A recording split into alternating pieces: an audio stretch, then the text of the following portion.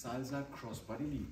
1, 2, 3, 4, 5, 6, 7, 8. Über seinen Vorwärtsteil öffnet er.